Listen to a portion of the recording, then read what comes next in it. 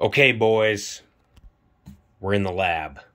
There's no pores allowed in the lab. The last time I was in the lab, I used a forward controls design shot glass. Now it will be Knight's Armament. There are no pores allowed in the goddamn lab. Ignore that. That just ignore that.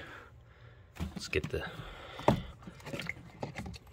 Oh, there's that's just quite a bit of Hoppe's. All right, let's see what we got here. Yeah.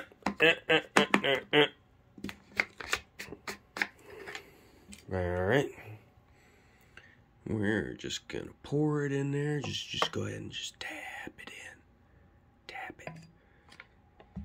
Oh man, that smells fantastic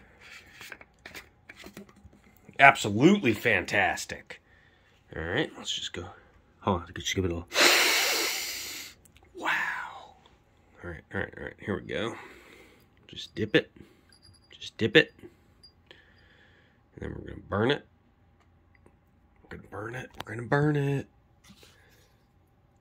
Is it flammable? Yes, it's definitely flammable. It's pretty. It's pretty damn flammable. We should probably make double sure it's flammable. Is it flammable? Uh, yeah, not as flammable. I mean, but that's definitely on fire now.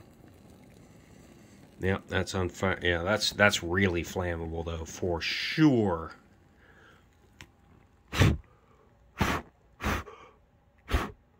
That's smelly. Oh man, I should have checked to see if the Kroil was flammable. Where am I going to put this?